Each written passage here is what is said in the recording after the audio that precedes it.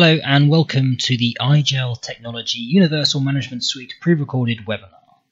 My name is Ian Anderson and I'll be here to take you through the UMS basics today.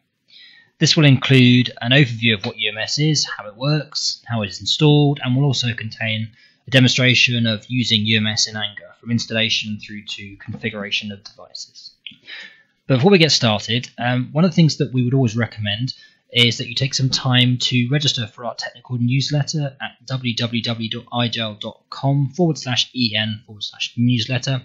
And this will allow you to get regular updates, firmware downloads, white papers that are available from uh, IGEL, and they'll be sent directly to you.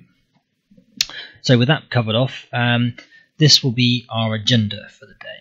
So, covering off how UMS works, how it's used, along with a demonstration. Uh, we'll also touch on our UDC2 or Universal Desktop Converter 2 product towards the end. So, what is UMS and what does it allow us to do? Well, UMS is the linchpin of our product lineup. It allows full remote management of all IGEL technology thin client devices, whether it's that you want to change a desktop background to deploying critical security related hotfixes or, or simply setting up remote connections. It's all done through our UMS software.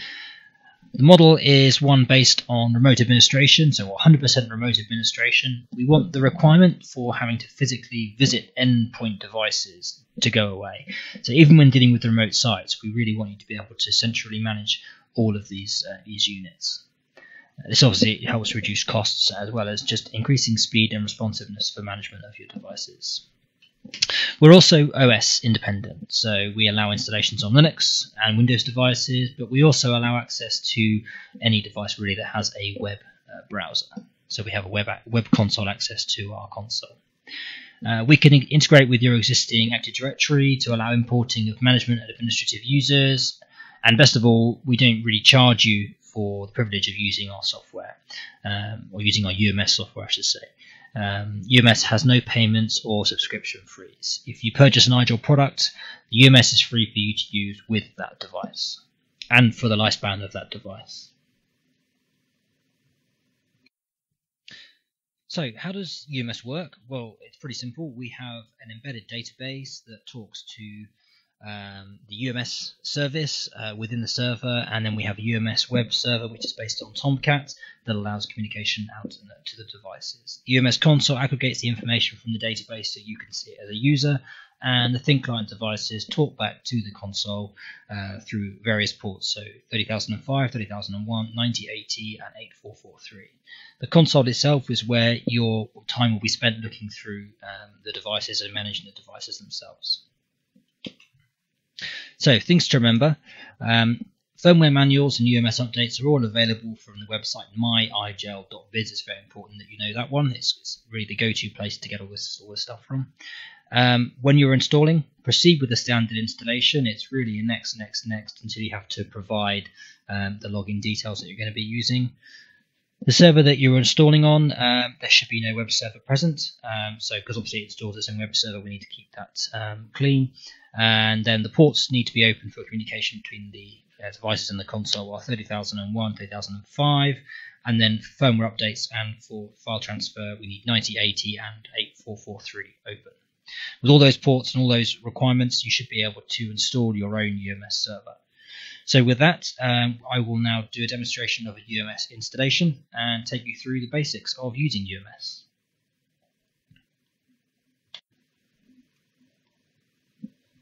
So the first thing we're going to want to do is to visit the myigel.biz website and here you can download the UMS just itself. So I will download UMS. I'm going to use a Windows version as you can see I'm running a Windows device here. I shall download the latest version, which is 501.120. Obviously, this may change. We'll save the file, and this will start to download.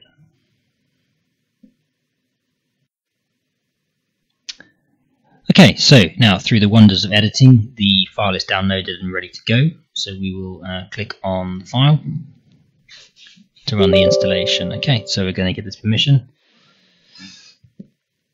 and we're going to click through. We need to accept the license agreement. Obviously, you need to read this. Hit next. Uh, we're going to do default installation, so we're going to use the default locations. And because we're installing UMS from scratch, we're going to install standard UMS with embedded database. So that installs UMS console and database. If later on you only wish to install the console, then please untick everything and just tick the UMS console. So we'll go back to a standard install and hit next. Okay, default uh, sorry data directory as standard, just default it. Obviously, you can change this if you wish. And then we need to specify a username and password. So I'm going to go with administrator. And I'll give it a password.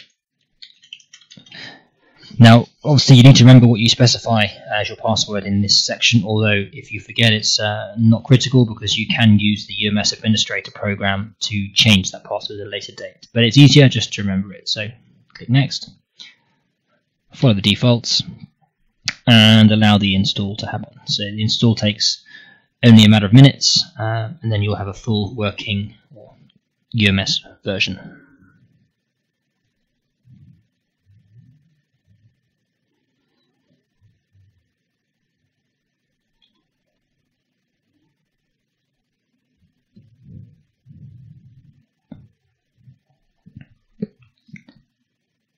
Okay, so there we go, the installation has finished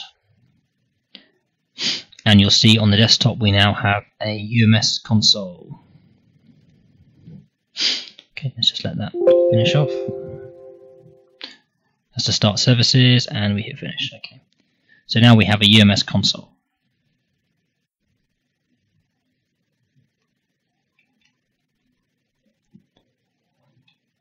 So with UMS installed, uh, we will launch the console and this will connect to the server and you'll be asked for login details.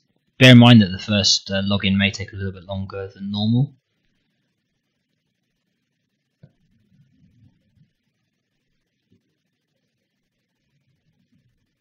Okay, so I'll enter in my password that I defined earlier. And this will launch UMS. So now you can see we're at the console. Now at this point we have no devices connected to our UMS, and this means that the functionality is very limited.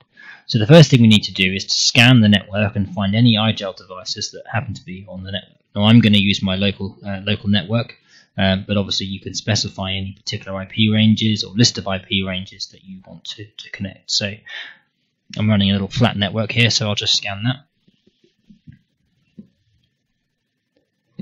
And you can see I've picked up a device. This is a, a UD2 device, one of our, our new UD2s. Um, and you can see that it says here certificate no, and this means that this device has never been connected to a UMS, or that it's been factory reset. If obviously the device has been connected previously, you can factory reset a device because the connection between UMS is certificate based. So when I join this device to my UMS, uh, um, no other UMS will be able to own uh, that relationship with the device until I either factory reset the device or delete it out of UMS itself. So I'm going to tick the include button here and then by default the, the, the, device will be placed into the thin client directory. Obviously I can specify where that goes from there. Or later on we can talk about default uh, or automatic configuration which can be done through the MISC folder up here. And that will allow you to specify by default where particular IP ranges appear in your estate. But for now we'll just leave it in the defaults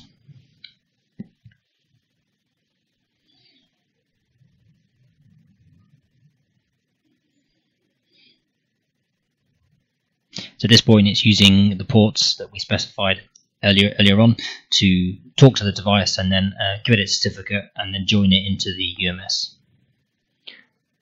So we should see that appear shortly.